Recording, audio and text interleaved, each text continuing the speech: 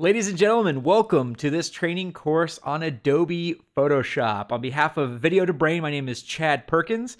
I've been an Adobe certified expert in Photoshop for over a decade now. Photoshop is used obviously by photographers in print when it comes to using images, but it's also used in video editors and visual effects. And allow me really quick just to give you a brief tour of some of the cool things that we'll be making throughout this course. One of the things is we're going to make this collage from scratch. We're going to take a regular old photo of some cables and stuff and a photo of regular old cement, and we're going to combine those into this cool collage. We're also going to look at some cool photo manipulation techniques. We're going to start with this blonde woman in a yellow dress, and we're going to believably give her blue hair and a blue dress.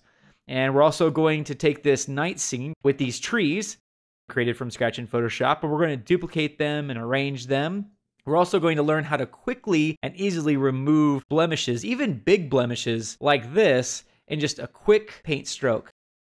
Also, we'll go a little bit into graphic design. I'll give you some tips and tricks on how to create text and how to incorporate text into a graphic design.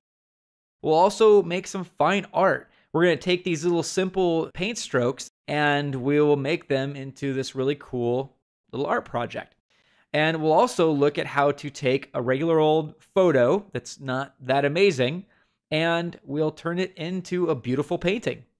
And finally, we'll also get a little bit more into graphic design, creating shapes and textures for this baby announcement. So, as you can see, we're going to run the gamut. We're going to take you from absolutely nothing to making all this cool stuff throughout this training course. Thank you so much for joining me. I'm really excited to get into this. So, let's get started.